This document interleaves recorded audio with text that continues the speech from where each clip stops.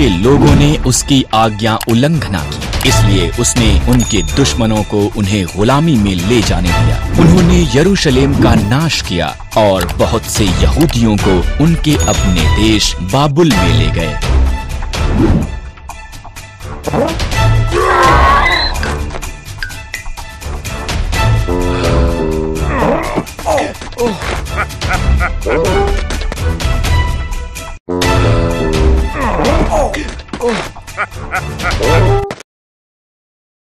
Daniel बाबुल में गए यहूदियों में से एक था।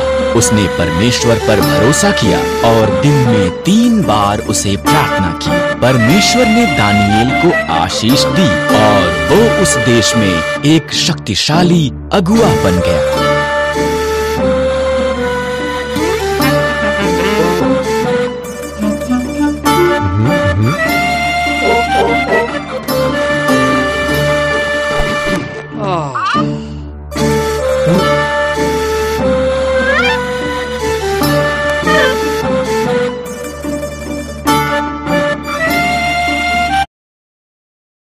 कुछ अगुए दानियल से ईर्ष्या करते थे, इसलिए उन्होंने एक नया कानून बनाया। लोग केवल राजा दारा से प्रार्थना कर सकते थे।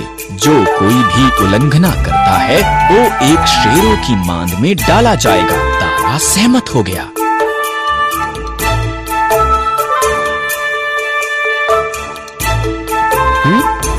दानियल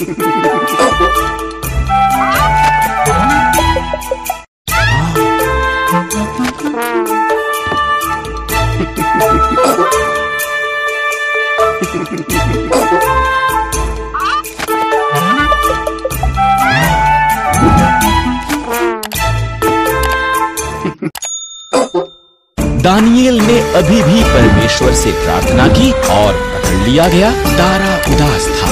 वो दानियल को पसंद करता था। उसने जाना कि उससे चालाकी की गई थी, पर वो कानून को नहीं बदल सकता था। दानियल को शेरों की मांद में फेंक दिया गया।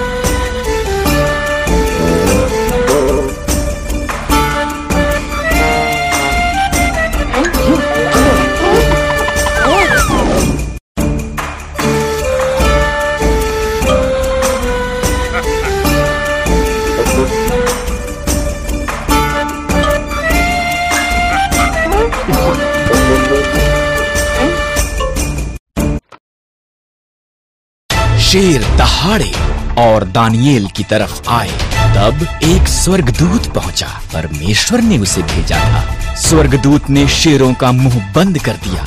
दानिયેल ने बिना किसी नुकसान के वहाँ पर रात बिताई।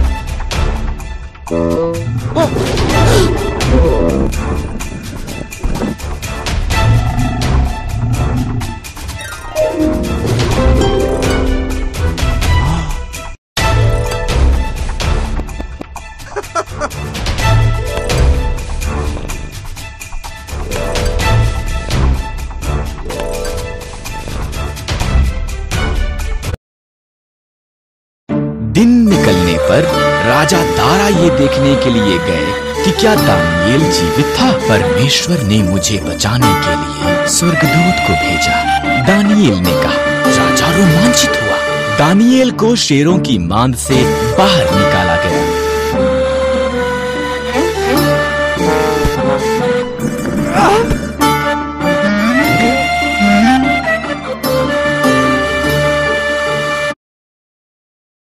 तब राजा दारा ने दानियल के दुश्मनों को मांद में डाल दिया। शेर उन्हें हड़प कर गए। राजा दारा ने उसके राज्य में दानियल के शक्ति